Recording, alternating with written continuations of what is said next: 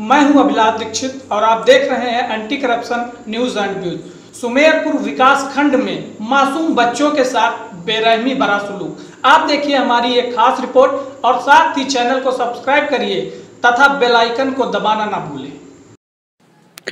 सुमेरपुर विकास खंड में संचालित विद्यालयों में चलाए जा रहे वाहनों में मानक विहीन स्तर पर बच्चों को भूसे की तरह भरकर ढोया जा रहा है। अभिभावकों की शिकायतों का भी संज्ञान विद्यालय प्रबंधन नहीं लेता। और मनमानी फ़ीस भी प्रतिमा वसूल रहा है। वहीं जिम्मेदार अधिकारी भी मौन साधे हुए किसी बड़ी घटना का इंतज़ार कर रहे हैं। कहीं न कहीं बच्चों की जान के साथ में खिलवाड़ किया जा रहा है। अब देखना यह है कि स्थानीय शासन और प्रशासन कब जागता है और विद्यालयों के प्रबंधन समिति की नींद को कब जगाता है। श्रवण कुमार यादव की ये report, anti corruption news and views. करते हैं दूसरी खबर की ओर।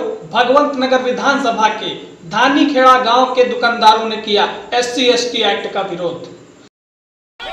उन्नाव जनपद के विधानसभा क्षेत्र भगवान नगर के पास स्थित धानी खेड़ा गाँव में एस सी एक्ट में संशोधित कानून जो केंद्र सरकार द्वारा लागू किया गया है, उसका विरोध किया गया, जिसमें धानी खेड़ा चौराहे पर जुलूस निकाला गया और धानी खेड़ा के सभी दुकानदारों ने मिलकर एक आक्रोश प्रदर्शन किया, जिसमें उन्होंने आश्वस्त किया कि जल्द से जल्द अगर इस कानून में संशोधन करके सुप्रीम कोर्ट के बनाए हुए इस कानून को फिर से लागू नहीं किया गया तो इस पर बड़ा आंदोलन खड़ा किया जाएगा और इस अवसर पर स्थानीय दुकानदार उपस्थित रहे, जिसमें व्यापार मंडल के अध्यक्ष रामेश्वर सिंह, मोना प्रधान, गोलू सिंह, अनुज रोहित, अमित आदि सभी लोगों ने इस पूरे आक्रोश प्रदर्शन में हिस्सा लिया। वहीं भानु प्रताप प्रधान ने कहा कि अगर सरकार का हमारी मांगे नहीं पूरी करती है तो हम धानी खेड़ा चौराहे पर आत्महत्या कर लेंगे और हमारे एक के मर जाने से समाज अगर सुधरता है या सुरक्षित रहता है तो निश्चित रूप से यह कदम भी उठाया जाएगा।